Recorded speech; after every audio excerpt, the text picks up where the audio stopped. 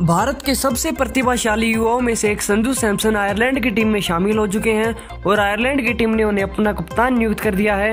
दोस्तों, पूरी खबर की जानकारी के लिए वीडियो को एंड तक देखिएगा और अभी तक अगर आपने हमारे चैनल को सब्सक्राइब नहीं किया है तो चैनल को सब्सक्राइब करके नोटिफिकेशन बेल ऑन करना बिल्कुल ना भूलें। दोस्तों, भारत के सबसे टैलेंटेड खिलाड़ियों में से एक है संजू सैमसन। दोस्तों, आपको बता दें कि संजू सैमसन के साथ पिछले कुछ समय से बीसीसीआई बहुत गलत कर रही है। संजू सैमसन के टैलेंट को बार बार नकारा जा रहा है। संजू सैमसन के टैलेंट को अनदेखा किया जा रहा है। बीसीसीआई लगातार संजू सैमसन के साथ अन्याय कर रही है। दोस्तों, आपको बता दें कि संजू सैमसन को टी ट्वेंटी विश्व कप 2022 की टीम में भी जगह नहीं मिल पाई।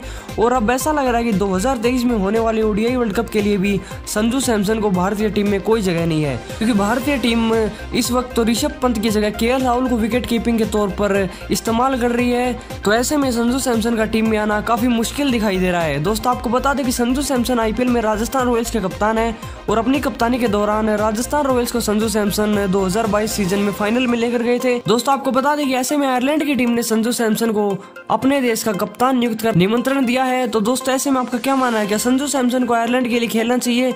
आप भी अपने राय कमेंट बॉक्स में ज़रूर बताइएगा।